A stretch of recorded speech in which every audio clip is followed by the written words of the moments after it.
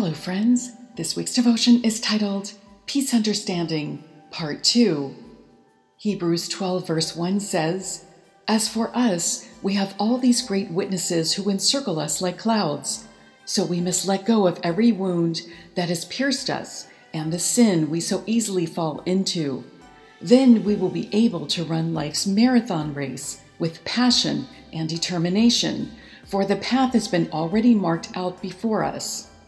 Friends, it's time to throw off every hindrance from our powerful path of peace. It's time to give every wound to Jesus and hand over every limitation in our lives. It's time to invite Him to heal our hearts so we don't perpetuate cycles of pain inwardly or outwardly. It's time to run as the overcomers He made us to be, because it's time for our Jabez prayers to manifest. It's time to see the goodness of God in His expanse for us. Oh, that you would bless me indeed, Jabez prayed, and enlarge my territory. Let your hand be with me and keep me from harm, so that I will be free from pain. Friends, it's time to be awed. It's time to be lifted above what once held us back and step into God's beautiful and lofty place as He continues to make us authentic, like Jacob. Let the king be enthralled by your beauty, Psalm 45:11 tells us. Honor him, for he is your Lord. Friends, it's time for action. Two questions we can ask ourselves and God to gain His truth and understanding are number one, what am I under? Meaning, what am I submitted to? Number two, and how am I standing? In other words, am I submitted unto the Lord God Almighty, operating with His character and ways?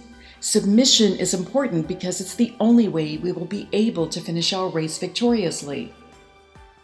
Isaiah 26, verse 3 says, You will guard him and keep him in perfect and constant peace, whose mind, both its inclination and its character, is stayed on you, because he commits himself to you, leans on you, and hopes confidently in you. So, a few weeks ago, Holy Spirit highlighted condemnation to me as a hindrance to our strength of peace. He brought to mind the forgiven adulteress in John 8 and led me to take a deeper look. Holy Spirit revealed to me that hopelessness had taken root in this woman's heart, which caused an inward attitude of condemnation that she projected and acted on outwardly. This lie of hopelessness in her heart perpetuated cycles of condemnation in her life. It was a trap for this woman and for Jesus. Friends, we cannot have peace if we don't have hope, because hope is an anchor and a stabilizer that sets us on our Lord's path of peace.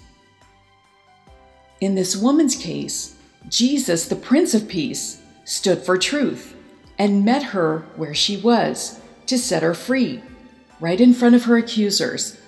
The accusers, who were aligned with the devil, judged her outward appearance and distanced themselves from Jesus as he brought conviction to their consciences.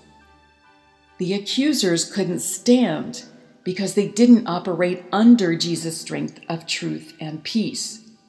Instead, that gang operated under gossip, not gospel, and covert collusion, not divine collaboration.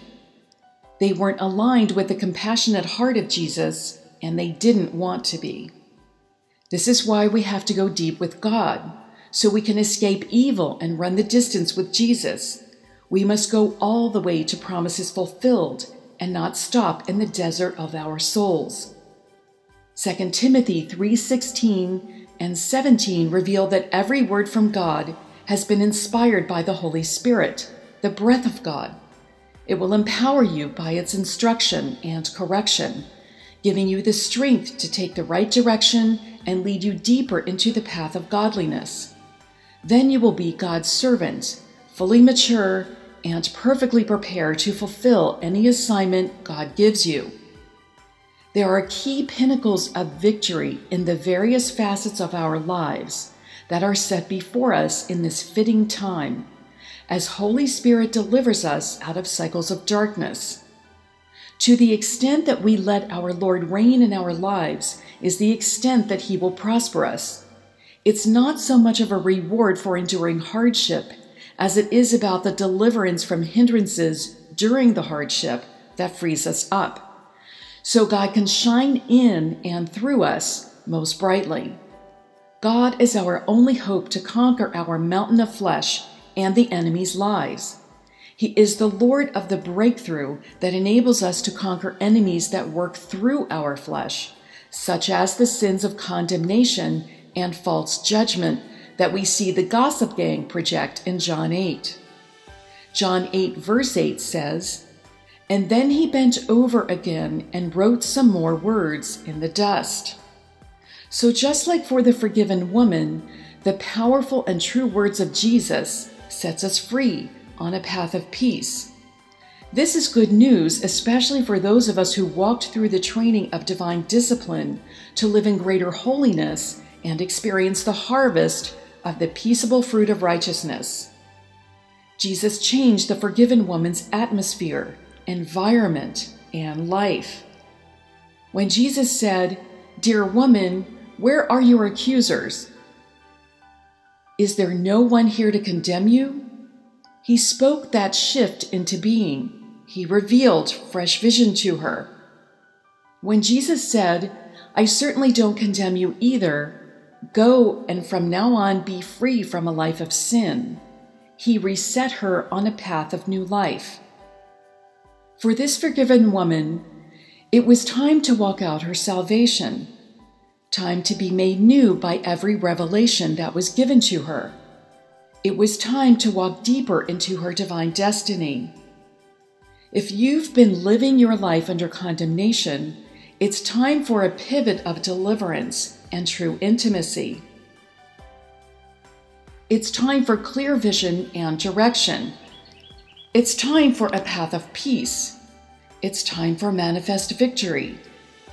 Remember Romans 10, verse 11, which says, No man who believes in him who adheres to, relies on, and trusts in Him will ever be put to shame or be disappointed. So if you're ready, pray with me if you will. Dear Lord, thank you for your destiny plan for me. I confess as sin, having operated in any and all hopelessness and condemnation. I renounce this disobedient behavior and every spirit that's not of you. I forgive others and myself for any and all imposition. I receive your forgiveness offered to me by the finished work of the cross. I invite you to uproot any and all hopelessness in my heart and restore my true foundation of hope. I receive your new path of life for me. I choose to follow you as my faithful glory cloud by day and my fire by night, leading me out of all darkness into the fulfillment of your promises to me. Open my eyes, Lord, to see your goodness as you make my path straight, merciful, and peaceful. Help me to know my worth through your eyes. Thank you for your grace of redemption. Thank you for working out my salvation. In Jesus' mighty name, amen. Friends, as we close, remember Mark 8, verse 34, where Jesus tells us how to remain in his light. He says, If you truly want to follow me, you should at once completely disown your own life, and you must be willing to share my cross and experience it as your own as you continually surrender to my ways. To God be the glory.